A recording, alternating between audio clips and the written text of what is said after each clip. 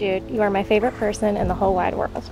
You are truly the most incredible man, and I have never been more sure of something than this decision to stand here in front of you to become your wife. I knew you were my soulmate on our first trip to Ocean City together. When you booked a pet friendly hotel and invited Aura along, you instantly stole my heart. Our travels have been so special and so fun, but I love our quiet, everyday moments too. From morning coffees to have a nice day kisses to your seemingly unprompted bedtime giggles, I cherish this life with you. I promise to always be your faithful partner and best friend. I promise to be there for you through challenges and triumphs.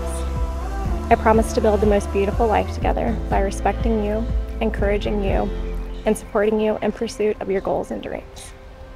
I promise to hold your hand.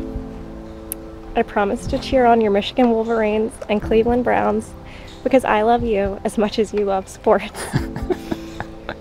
Standing here with you today, I have never been happier. Today is the best day of my life.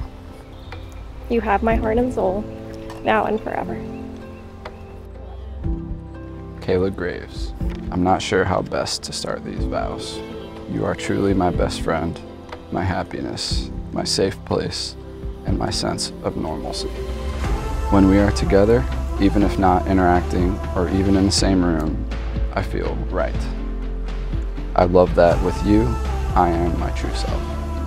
I vow to continue to build not only our love together, but our best friendship too. I vow to be your safety and your confidant.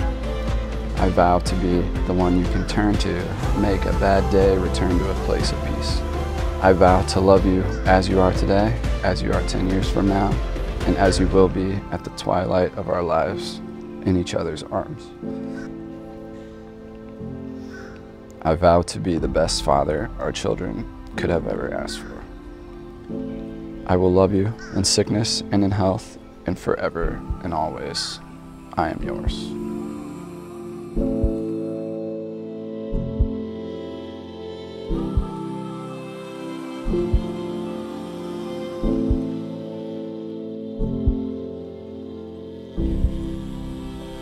I'm